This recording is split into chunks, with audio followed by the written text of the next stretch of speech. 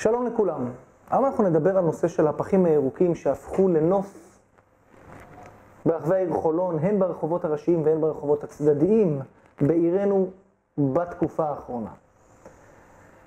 אנחנו יכולים לראות את הפחים האלה מונחים על הכביש, באין מפריע, חוסמים כניסה ויציאה לחצרות, נמצאים על מעברי חצייה, נמצאים על מדרכות ומהוות בעצם מכשול הן לנכים והן לאימהות או לאבות עם עגלות שלא אחת מוצאים את עצמם, יורדים לכביש ובכך מסכנים את חייהם. הרשלנות הפושעת הזאתי, אנחנו מגלים אותה ואין פשוט מילה אחרת לומר, הפקרות לשמה. אלה תמונות שאנחנו לא רואים באירופה, אלה תמונות שאנחנו לא רואים במקומות שביקרנו בהם, אה, ברצלונה, פריז, אנחנו פשוט לא רואים את הפחים הללו פזורים ברחובות, ברוב המקרים יום, יומיים שלמים, בלי שפינו אותם, או בכלל בלי שהחזירו אותם לחדר האשפה.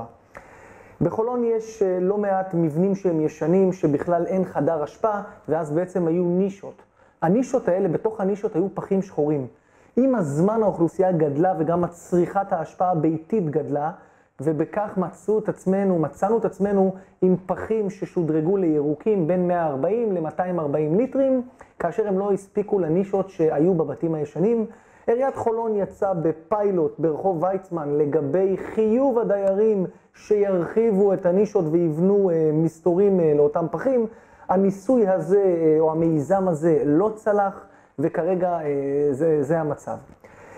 בנושא של הפחים הירוקים, יצאנו לשטח ולבדוק, חשוב לציין שלא היה לנו שיתוף פעולה, לא מהקבלן, יש קבלן אחד שנקרא פרח השקט, גם על זה נדבר בהמשך, ועיריית חולון, מחלקת תברואה, לא זכינו לשיתוף פעולה משני הגורמים הללו, כאשר בדיקה שעשינו, לקחנו מדגם של 20 מקומות בהם אה, נמצאו אה, פחים שבאופן שיטתי, כמו דוד אלעזר, כמו אלופי צה"ל, אה, סוקולוב, לא מוחזרים בזמן, יצאנו לשטח ולבדוק הממצאים מראים מתוך 20 בדיקות שנערכו, 18 רחובות היו של עיריית חולון ושניים של הקבלן. אה, כל הפרטים נמצאים בכתבה. נכון לעכשיו המצב הוא שעדיין אנחנו נראה במחוזותינו כאלה תמונות. צריך להשקיע כספים רבים יותר ולנתב את הכספים מה שהשקיעו במוזיאונים הכושלים, אין לי מילה אחרת לומר, כושלים, צריך להפנות מעט מזה עבור דברים חשובים יותר שישפרו את איכות החיים שלנו. חשוב להבהיר פה שאין לנו שום דבר נגד אף עובד עירייה ולא קבלן, שהם עושים עבודה קשה, הם פשוט מקבלים את ההנחיות מלמעלה.